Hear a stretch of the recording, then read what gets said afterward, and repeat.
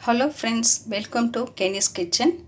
இன்றைக்கி நம்ம கவுனி அரிசியில் ஸ்வீட் பண்ண போகிறோம் இது வந்து கருப்பு அரிசின்னு சொல்லுவோம். இது உடம்புக்கு ரொம்ப நல்லது இது. அதோட இடுப்பு வலிக்கும் ரொம்ப நல்லது.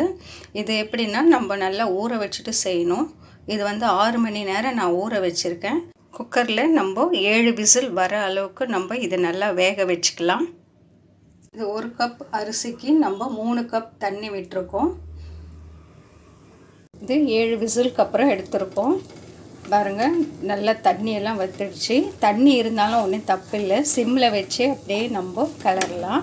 கலர்னிங்கன்னா இந்த மாதிரி தண்ணி எல்லாமே சுண்டிடும். அதுக்கப்புறம் இதுலேயே நம்ம இந்த சூட்டுலேயே சர்க்கரை நாலு ஸ்பூன் இதில் சேர்த்துக்கிட்டேன்.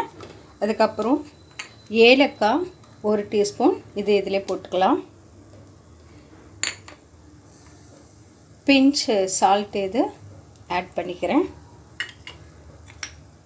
ஒரு டீஸ்பூன் நெய் இதில் போட்டுக்கலாம். நெய் ரொம்ப சேர்த்துக்க வேணாம் சும்மா நம்ம வாசனைக்காக இதை சேர்த்துக்கலாம். தேங்காய் துருவல் இதில் ஆட் பண்ணிக்கலாம். அரை முடி எடுத்திருக்கேன். நமக்கு எவ்வளோ வேணுமோ அது போட்டுக்கலாம். போட்டுட்டு நல்லா இது அப்படியே நம்ம கிண்டலாம். இப்போ இது நல்லா கிளறியாச்சு. அப்படியே நம்ம ஸ்டவ் ஆஃப் பண்ணிடலாம். சிம்மில் வச்சு இது பண்ணோம். ஸோ இதை அப்படியே ஸ்டவ் ஆஃப் பண்ணிடலாம். நாங்கள் சூப்பராக கவுனி அரிசியில் ஸ்வீட் பண்ணிட்டோம்.